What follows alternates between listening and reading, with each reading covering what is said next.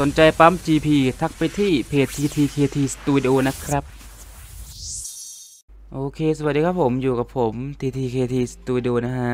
วันนี้ก็จะพามาดูนะผม สิ่งที่จะมาหลังเกมปิดนะครับผมก็มาแน่ๆก็คือ อ่าตำนานนะฮะยูโรเปียน n นชั่นแนลทีมนะครับผมก็จะมีอ่าก็จะมี Del Piero แล้วก็ Pirlo นะครับผมแล้วก็อ่า Lizarazuนะฮะดิโก้ นะฮะเคนเบลเออร์ตอเรสอินเนสตารูเมนิเก้ประมาณนี้นะนะฮะประมาณนี้ดิโก้มัสเตอุดโอเวอร์คานก็ตำนานเดิมๆนะเอาจริงนะตำนานเดิมๆ14 คนนะฮะตำนานเดิมๆประมาณนี้นะครับผม แต่ตอเรสผมก็ยังไม่มีเอาจริง ถามว่าจะเปิดไหมก็คิดอยู่นะโอเคไปครับผม แล้วก็จะมีเพลเยอร์วิกของยูโรนะฮะอันนี้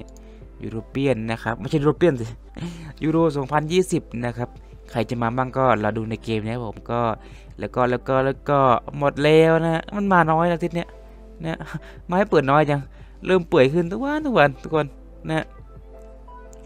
อ่า player week ของ Japan ก็ไม่มีนะ ไม่มีนะเนี่ยหมดแล้วนะ หมดแล้วนะฮะมีแค่นี้เองนะผม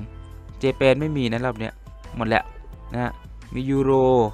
แล้วก็มีตำนานให้เปิดแค่นี้เองสองอย่าง อีเวนต์ก็ยังไม่มานะฮะก็ค่อนข้างเปื่อยนะทุกคนช่วงนี้ค่อนข้างเปื่อย อาจจะเป็นช่วงแบบปิดฤดูกาลของฟุตบอลอะไรอย่างเงี้ยนะแล้วก็เป็นช่วงท้ายของปี 20 แล้วนะฮะก็อาจจะเปื่อยแต่เปดิเวตมาแน่นอนว่ามาจะหนักจะเต็มเหมือนเดิมแน่ครับผมเราเปดิเวตเราเปดิเวตแต่มาวันไหนยังไม่แน่ใจนะฮะโอเคก็ประมาณนี้นะผมนะฮะส่วนใครจะปั๊ม GP ก็ทักมาในเพจนะฮะ ยังไงก็ฝากกดไลค์ กดติดตาม กดแชร์ และกดกระดิ่งด้วยนะครับ วันนี้เป็นละบ๊ายบาย